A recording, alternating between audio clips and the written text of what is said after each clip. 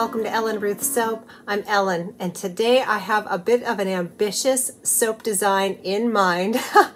um, I have made mountain soaps with a full moon, and inevitably I always get somebody that says Starry Night, you know, Van Gogh's Starry Night, which is like so gorgeous. It's just huge.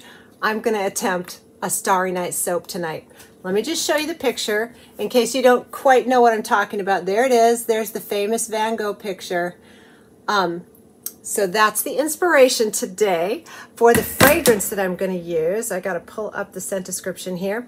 I'm using this from Be Scented. It's called Heavenly and it's a dupe of something and I'm not sure what, but it smells really good. And I wanted this to just smell kind of out of this world because that's what the picture looks like to me. Let me read the scent description. I'll pull my computer up. It says uh, a romantic uh, floral it has a peony, freesia, lotus, gold musk, creamy sandalwood, bourbon vanilla. That's all combined together for a sensual warmth and sophistication is the description. I love scent descriptions, but uh, it, it just smells really nice. It's very complex. It is not overtly floral, so I think this will be a unisex bar. That's my hope. Um, and it got, you know, decent review that it soaps well. It does have a little vanillin, so it will discolor a little to tan, but that's okay because we're working with a lot of colors in this picture scheme that I'm going to attempt. Oh, mercy. um, so I have my little full moon embeds. Even though in the Van Gogh it's a kind of a crescent type moon, I'm going to just do a full moon and do like a, a yellow swirl in here. Um, and I will get more into the colors as we get into the soap. Uh, let me show you some of the colors that will probably be making an appearance. And then as when I make my final decision and I get into it, I will um, definitely show you what I'm using. But, so we got the mountain and the little landscape and it has like little churches and buildings. So at the bottom, there's like a little village, but I'm not really gonna go specifically for that. So I'm gonna do very dark colors for the mountain, which I will probably incorporate here, my neutral gray, this is Nurture Soap. It is beautiful, a very, very dark. And then my Black Pearl from Nurture Soap. I may incorporate a little activated charcoal in there so that my mountain will be very dark. And then for the little landscapey around, I'm going to do a mix of greens and blues because there's a little bit of green in there to kind of represent the land mass. So I have my jungle green from Workshop Heritage and it's a really nice dark green. And then I will be probably using my blue skies and or my gorgeous blue, it's called uh, just a touch because I need it to be different than the sky, which obviously has yellow swirls and some little starry things in there. I might incorporate my um, bell-bottom blue. So I have all these dark blues that I might add a little bit of black into them to darken them up. So I am going to also incorporate for the little star speckles. I saved off some shavings of some lighter color soap. So I'm going to chop these up into tiny little bits. Um, and I will do a little bit of a yellow kind of in the pot swirl for the sky to represent, and then the moon will be a definite yellow. I feel I'm really stretching myself here to even attempt this soap, but you know, let's give it a whirl. It's going to have pretty colors and a moon in it, so no matter how it turns out, right, it'll be fun, and this fragrance smells great. This is going to be an aloe vera soap. Let me get to that, because, you know, when it's all said and done, it's a bar of soap. Aloe vera is going to be the liquid portion. I'm going to get everything pulled together, make some color decisions as I look at that picture more for inspiration. Goodness sakes, this is kind of ambitious for me. Let's come back and attempt to make a Starry Night aloe vera soap. All right, it's additives time, and here's my game plan. So this is all of the oils and butters in here, and then I'm going to add my additives and the fragrance into here, and I will split this entire batch in half and I will do the same with my aloe vera lye solution. I will split it in equally in half so that I can deal with the mountain range in one bite and then the sky in another bite and that way I'm not worried about trace or anything. I have soaped with this fragrance before and it soaps very nicely. It's a well-behaved fragrance so I'm not worried about that. So I'm going to put in all of my fragrance in here and that way everything is scented evenly. I just kind of like to do that when I can. So fragrance is in. And now for the additives, we're going to do colloidal oats and kaolin clay, just because I love it. And we'll get that blended up, and then I will get to splitting my batch in half, and then we'll get to doing our mountain range as it is. All right, let's get this blended up.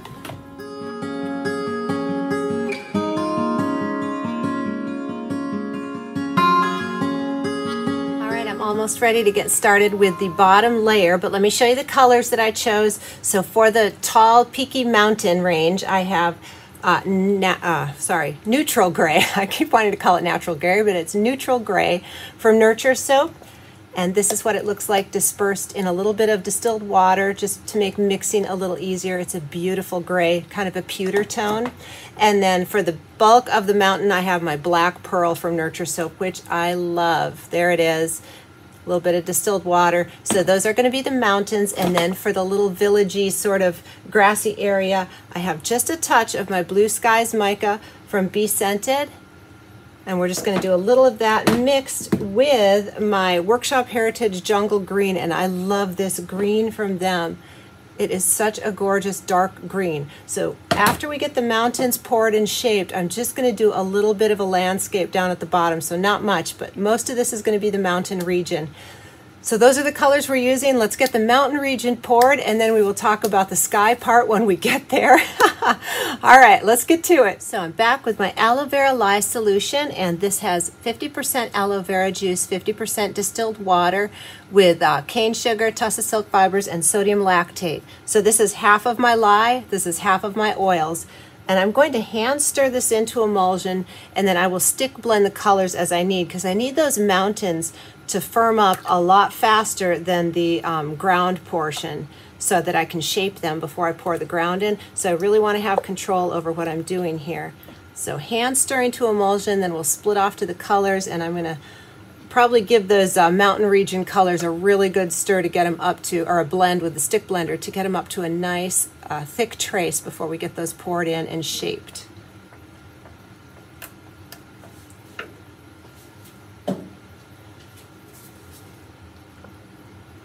So when you're hand stirring to emulsion, you just stir and look, and what you're looking for is if any oils separate on the top, and if it looks grainy at all on the thing, the thing, the spatula, you know what I'm talking about, right? So you can kind of see it on the top if it's stained blended, so you don't want a false trace, and we're looking pretty good here. So let's get our colors split off and we'll get moving on here.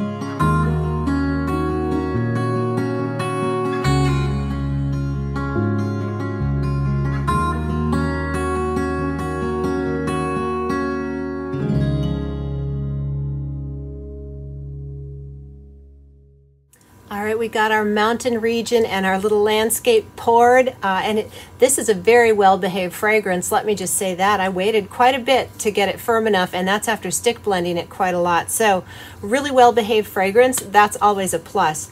So I've got my little shreds here that I'm going to put probably in the yellow portion, and then let's show you the colors. This is gorgeous blue mica mixed in a little distilled water, and it is indeed gorgeous.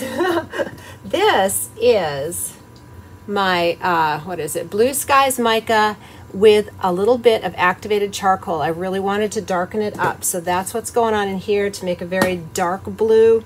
Um, I did notice there were some little bits of wisps of orange around the stars. So I have my uh, Siesta Sunset Orange from Wholesale Supplies Plus, and I will just be doing a teeny little bit of this in there and then I noticed some black flecks in the sky. So this is activated charcoal.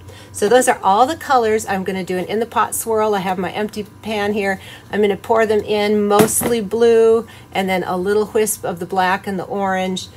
It'll have the flecks in there. I'm hoping to just get a real, like, you know, the sky in the picture is so beautiful and swirly. So in the pot swirl is what I'm going for. And then I have my little moon embeds all off to the side here. These were colored with, where is it? There it is. My goldenrod yellow are what these are. So I will, I'm going to spritz these down with rubbing alcohol when it's time to put them in there so they get a little tacky. I poured these quite a few days ago, so they're nice and dry. Um, so I need to kind of get them tacky so they adhere really well because that would be a bummer when you slice your soap and have the moon pop out. We definitely don't want that to happen.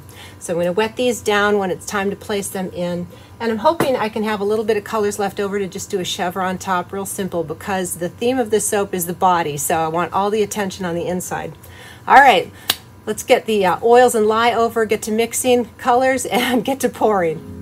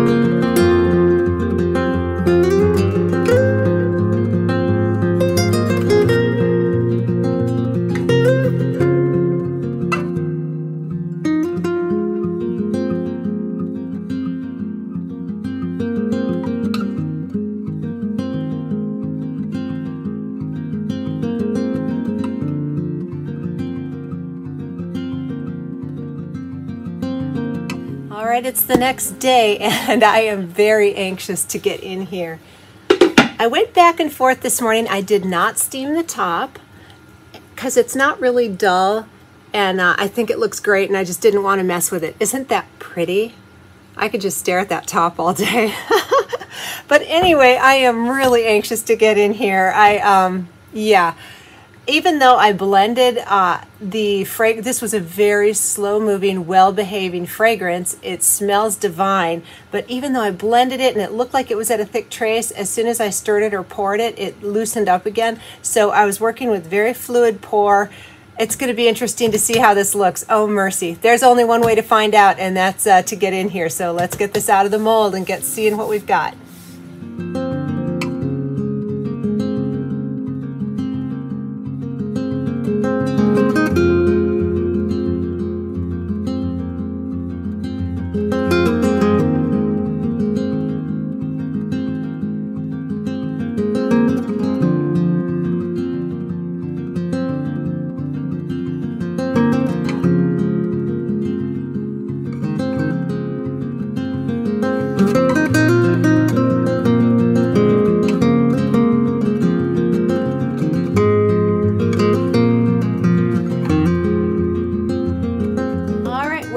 With the lovely Olga, and it's the moment of truth. So, I'm a little bit nervous about cutting these. I'm loving the colors, so let's get in here. Oh my, my. I really hope these are pretty. Well, I think they're going to be pretty. I hope they look like the painting, and if they don't, they'll just be a very pretty, you know, soap, right? I'm trying to keep positive here. Whew, all right, let's pull one out here in the middle. Okay, all right, are we getting the vibe? I don't know, but they're cool. I think these are really pretty.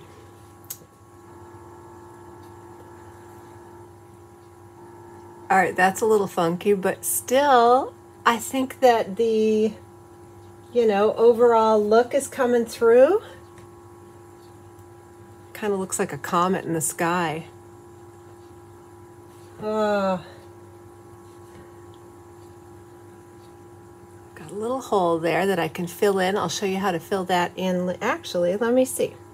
See, I just, this little shaving here is, oops, pliable soap. So when you have a hole, you can take any trimmings off of your soap and you make a little soap dough out of it because this is fresh soap.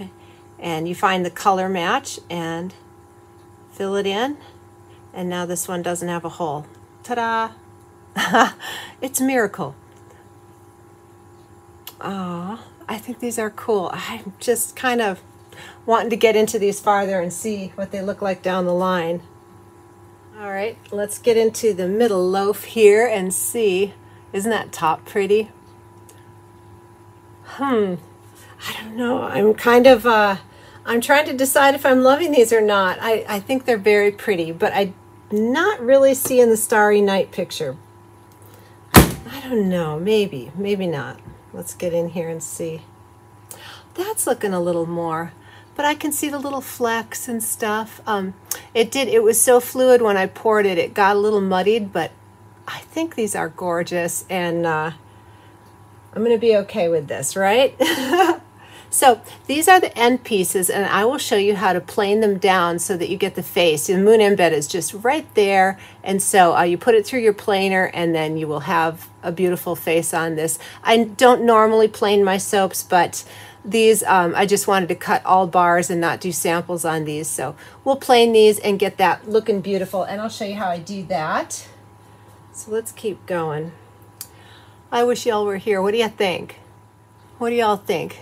Did we even get close to Van Gogh? It kind of has that vibe, but uh, next time, if I do this, I will do a little more yellow swirl. I think that would help. But I, uh, at the end of the day, these are really pretty. And they make me happy. It's kind of like a mystical night, magical night at the mountains or something. Very happy with those. And I love how the mountains turned out. I like shaping them. You really have to wait for the, when you pour the bottom, You really uh, have to wait for it to get up to piping consistency and then you can shape them. Oh, those look pretty. So it just takes some patience, but I'm very happy with how they look. And that's one way to do it when you have a slab mold. Um, when you have a, a regular standard size soap mold, you can tip it on its side and kind of do mountains on half. But when you have a big slab mold, you have to shape them like that to be freestanding. All right, last loaf we'll get in here. And uh, this was fun to even attempt such a thing. It was a little ambitious. I'm glad I tried it. Uh, these are these are beautiful. And this fragrance, I tell you what, I am tickled with this Heavenly from Be Scented.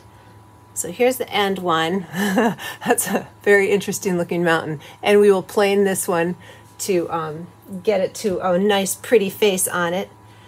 Anyway, what was I saying? The fragrance I love. Um, it was an ambitious soap pour for me. So I'm wondering what other scenes or pictures do you think we should try? If you have an idea of something you'd like me to attempt, send me a picture, tell me it, describe it, I'll look it up. We can, I'm willing to give it a try, you know, even if it doesn't turn out exactly, I think it's fun to try. And these are gorgeous. And again, this fragrance is so nice. And I, my husband thought it was a masculine scent, but I actually think it's unisex because a lot of the women I talk to really love these sort of kind of um, cologne aftershavey scents. It's it's just cool. So I would say this scent would go either way. Got another little hole there that I will fill in. So I'm just gonna get to cleaning these up, beveling the edges, stamping, you know, all the good stuff that goes into it. But thank you so much for joining me today. And if you enjoyed this video, please consider hitting that like button and subscribe so you don't miss anything going on in the soap studio. Have a great day. Thank you so much for joining me.